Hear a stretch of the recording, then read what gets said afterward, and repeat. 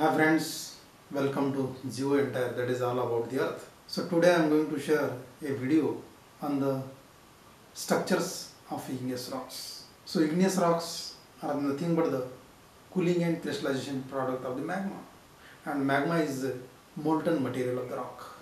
When such rocks are formed then these igneous rocks show some structures. In this video I am going to share what are the different structures present in the igneous rocks. So if you like my video, share and subscribe my YouTube channel that is GeoEntire. So there are different structures. So we will see first that is the flow structure. In side figure you can see when any igneous rocks consist of parallel or subparallel bands or streaks of magma flow then such type of structure is called as flow structure. See in this uh, side figure. Next structure that is the reaction rims. The reaction rims type of structure found in igneous rocks. What happens when magma comes or coming on their surface or erupt on their surface? What happens when temperature is decreases during cooling of the magma? The first crystallized mineral react with remaining melt and in this way the compositional variation is found. This compositional variation in the magma or in the rock called as reaction rims. So these reaction rims are again classified into two types.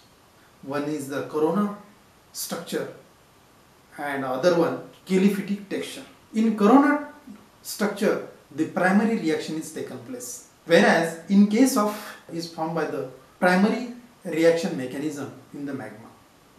Whereas these kelyphitic borders are formed, these kelyphitic borders are formed due to the secondary processes that is the metamorphism.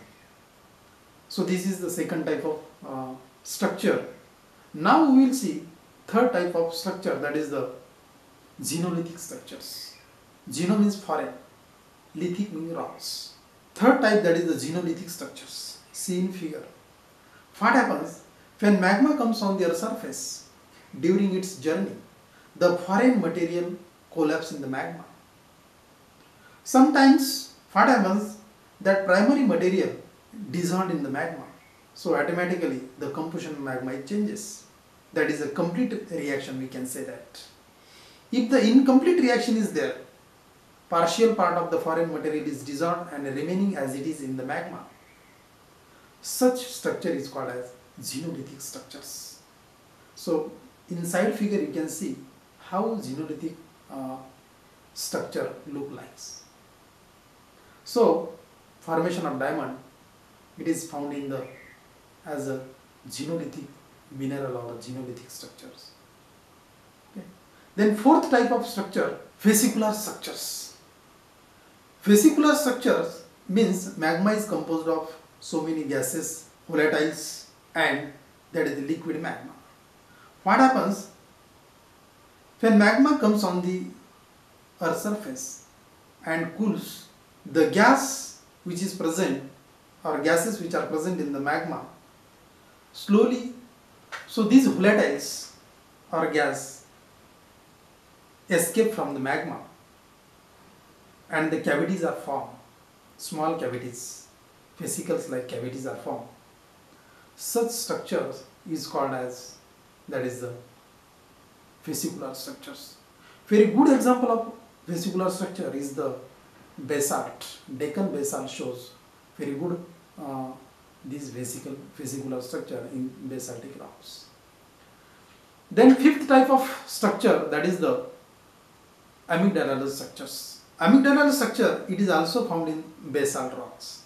So what happens magma it is already i mentioned it is composed of um, volatiles gases.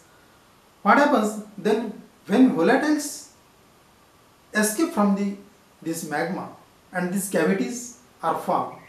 After some period the secondary fluid deposit in these cavities.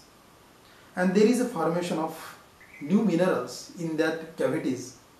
And the structure in the rocks looks like a amygdaloidal and the structure is called as amygdalal So it is like a almond shape.